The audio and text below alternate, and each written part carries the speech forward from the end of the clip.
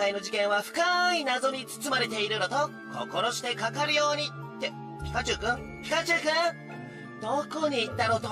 名探偵と助手というのは一心同体、常に行動を共にし、手と手を取り合って難事件を。次回、ポケットモンスターサンムーン、アローラ探偵ロトム、消えたクリスタルの謎、ピガメキャッチュうわあ見つけたの